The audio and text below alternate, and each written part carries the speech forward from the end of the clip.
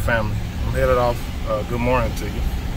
I'm headed off to a job here uh, for my goat clearing business. Um, I have about maybe five, five sheep on the back as well as about 10 goats. So it's about 15 animals in the back, in the trailer back there. and um, I have my, my, dog as well. About nine uh, electric fence uh, extensions, 100 feet uh, per uh, piece. So I'm headed off to this property here that's nearby and I wanted to uh, start off this year with, you know, getting the business going. And so um, if you're in the area and you're looking to get some land that's, uh, that cannot be cut or cleared with equipment, uh, goats is a great way to do it. And so um, I'm headed off uh, to this location. Again, it's nearby. And um, I'm gonna have, have my goats out there a couple days.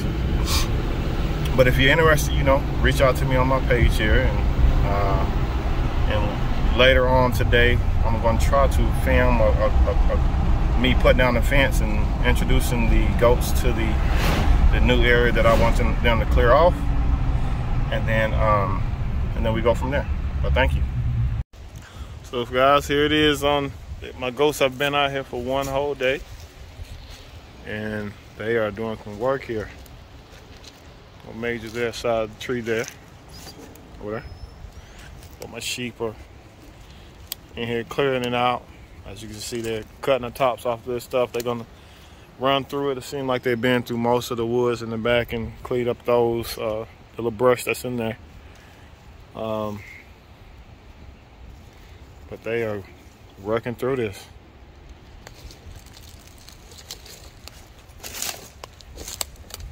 As you can see. Energizer. Still maybe a day or two left for them in this, this section here. They should have everything down. some good rain last night. And how many goats I have in here? One, two, three, four, five, six, seven, eight, nine, ten goats and five sheep are in this this section here. Again, it goes way in the back back there. So they still have a little ways to go, maybe a day or two, and they should be good to go, and we should be leaving this property. Good job. All right, fam. I'm here for the last couple days, about three days, and so I'm gonna show you the video what it looks like um, around here. As you can see, they have ate all the limbs off this magnolia, this small magnolia tree. But as you go through the property here, everything is clean. A small little, you know, greenery still here. I'm not sure if that grew. That's why they were here. But as you can see, the part that they were able to get a hold to, they pretty much devoured it. As you see back there, our fence was not able to reach that area. So they did not get a chance to get back there and clean it. I didn't have a, another fence to, maybe I need another 200 feet of fence to, to get back there. But as you can see, they have cleared everything down here. Our truck is there, trailer is there. Everybody loaded up. And so I just wanted to walk through here show you guys what has been uh, devoured here. Let me walk down through here. So the fence was on the other side of this, this walkway right here. And so you can see everything in front of me is ate up. A lot of this other stuff is just dead weed. Walk down through here. So everybody's loaded up on the trailer there. They're in there. Let's go down through here. This is the main point that my client wanted me to get clear here with this section over here. I mean, had a lot of tall grass in here, swampy. So maybe the sun can get down in here and dry it out a little bit. As you can see, it's so wet down here, all in here. Good place for snakes to be. Think that was the concern of the client. As you can see, this section here was ate up. There's tall stuff in here. I can't, I can't find the grass. Like that grass right there, but it's standing up.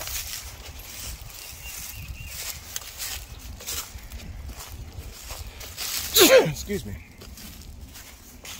see, so My goats was in this section. I couldn't put them right on the creek's edge here because the fence is electric and I didn't have any anchor spots for it to, to sit in with its prongs. So let me walk through here. As you can see, they have laid everything up here. Three days worth. Pretty good. This is a dead tree right here. All the limbs fell off. So, um, but it was just tall stuff like this right here. Stuff right here, but it was real tall, real thick. They did what they had to do. And so, just wanted to show you guys what was going on. My GoPro is acting funny. I'm not sure why. It's enough battery and memory left on it, so not sure. Um, so I'm using my phone. Let's go up to the trailer here. You see my goats in there. Everybody's in here relaxing. That's Major, Stallion. I got him tied to the side because he's, he's a head butter. But everybody's in here chilling. Um, they fat. They've been eating pretty good. Hey, look at Major. Major. Hey, Major. Yeah. Yep. Just wanted to show you what's going on on this property. If you know anybody in the area, I'm in Georgia, Fayetteville, Georgia. If you know anybody nearby that needs their property to be cleared like this in tough, marshy, rocky areas, um, just reach out to me. Uh, Kimbleland Farm, you, look, you can look me up at on Instagram at Kimbleland Farm, Facebook, Kimbleland Farm, and you can find the details as relates to my number and so forth from there. All right, thank you so much for your time. Um, I'm about to load up, talk with the customer, and get up out of here. Have a good day.